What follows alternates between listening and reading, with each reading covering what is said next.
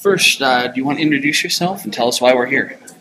My name is Melanie Papalia, and we are here for the world premiere of and Her at South by Southwest. Now, I saw the first two episodes, uh, very entertaining. Um, I was actually very surprised because you, you hear about a show and you kind of get the general premise, and it's kind of like, well, a couple has a threesome, and you kind of go to that immediate taboo kind of place. And it really wasn't that kind of, of show. Um, how would you describe the series? Oh gosh, um, that's hard because I feel like it can be described in a few different ways, but it's you're, you're taking uh, real people and putting them in a situation that really could happen to anyone, and asking what if. I think the show really is about what if this was your circumstance. Um, what would you do? Now, your character, we, we briefly meet her in the first two episodes. What's something that we can look forward to seeing from your character in the future?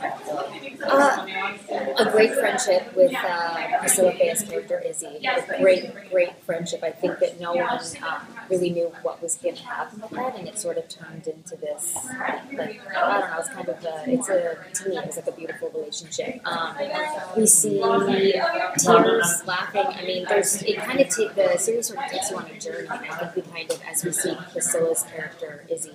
Um, lose it a bit more. We see a bit more from from Nina, kind of trying to pick up the pieces of her friend. Now, what do you hope that the audience that gives the show a chance takes away from it? I mean, I hope they enjoy it. I hope, but I also hope that it kind of asks them a question. You know, the, the what if. I think that's sort of collectively what we all wanted going into it was to to kind of bring up this crazy situation that these things do happen. Just no one really, like you said, it's taboo. No one really talks about it. Um, but but to sort of yeah to to ask what if. I mean, there are so many shows these days that just don't make you think at all. And I mean, we obviously want the show to be entertaining. Mm-hmm. We want people to look forward to watching it every week, but also to kind of I- I don't know, maybe think outside think outside the box. Do you think this will kind of make the whole threesome concept more socially acceptable? I mean, you think No, this is kind of kind of. I mean, I don't. I don't. I don't think so. I think uh, that's that's a hard question. You know, it's like because I don't want to tell anyone what is acceptable in their life and, and you know what isn't. Like I'm a believer in to each their own. Whatever makes you happy. If, if look a married couple, that's what they want to do. Go for it. Like you know, be my guest. I think anyone should be able to love or you know do do whatever they they want. If you know two part consenting adults agree to do that. Um, I, I don't know if it will make it more socially acceptable. Um,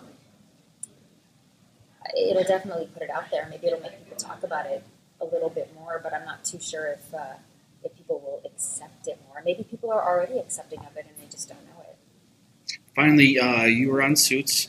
Uh, you were basically Mike's Donna um, for uh, last season.